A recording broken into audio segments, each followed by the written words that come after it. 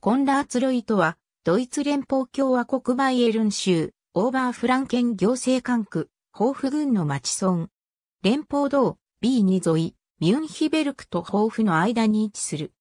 コンラーツロイトは、フランケンバルトとフィヒテル山地の間に位置し、ミュンヒベルガーヘンマガン地層上にある。この町は、公式には36の地区からなる。このうち、孤立農場などを除く集落を以下に列記する。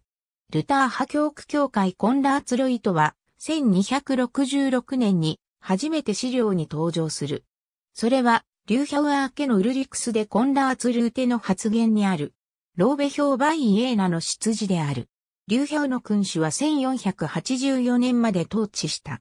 1441年に皇帝フリードリヒ三世はこの地に重罪裁判所を設けた。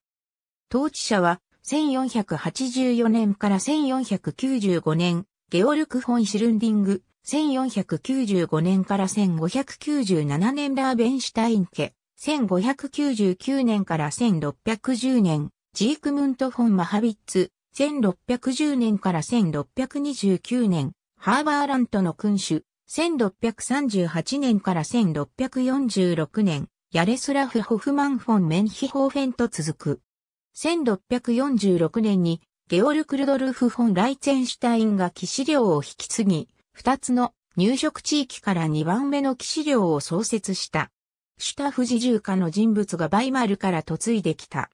シュタフ家の子孫はライツェンシュタインと名乗り、現在も城の所有者となっている。1792年から設けられたプロイセン王国のバイロイト公領のアムトは1807年のティルジットの和訳により、フランスの管理下に置かれ、1810年にバイエルン王国領になった。バイロイト王国の行政改革時代の1818年の自治体令により今日の自治体となった。この自治体の地域は、1970年3759人、1987年3439人、2000年3627人であった。